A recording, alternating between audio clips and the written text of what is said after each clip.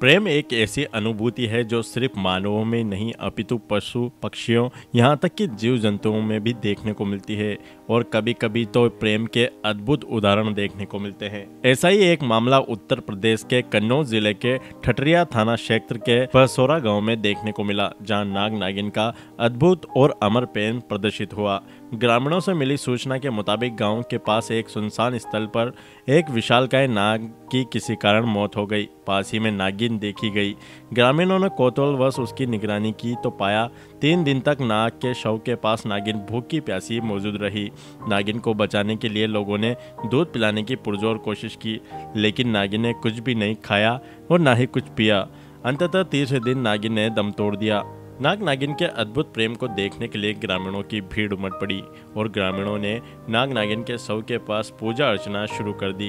ग्रामीणों का कहना है कि नाग नागिन की समाधि बनाकर उसी स्थान पर एक मंदिर बनाया जाएगा और यहाँ नाग नागिन के अद्भुत प्रेम की पूजा होगी। यहाँ नाग है तो बच्चों ने बताया कि यहाँ नाग तो लोग आए, देखा आके तो नाग यहाँ पे मर चुका था। इसके बाद में यहाँ आ गई नागिन। नागिन को फिर लोग देखने आए, फिर दूध लेके आए। उसने दूध दूध नहीं पिया। कल पूरा दिन उस प्रयास में रहे कि इसे दूध पिलाया जाए, लेकिन दूध इसने नहीं पिया। आज सुबह हम आए, हमने इसे उठा के वहाँ पर बैठी थी, वहाँ से उठा के यहाँ पे ठाला। फिर वो बराबर इसी के ऊपर फन पटकती रही और 11 बजे उसने दम तोड़ दिया। और इसकी पूजा अर्चना हम लोग उनकी अब कल सुबह इसका अंतिम संस्कार करेंगे। इसके बाद में यहाँ मंदिर की व्यवस्था बनाएँगे, मंदिर बनाया जाएगा।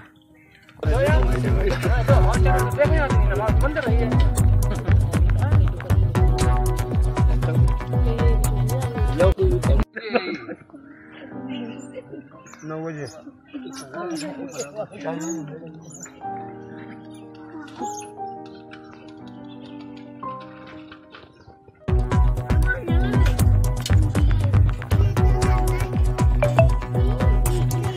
अगर घर जाए ना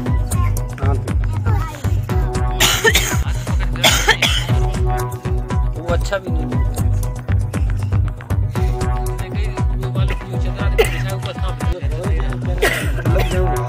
हाड़ोती की खबरों से हर समय अपडेट रहने के लिए YouTube पर सब्सक्राइब करें, हाड़ोती न्यूज़ और प्रेस करें बेल आइकन को।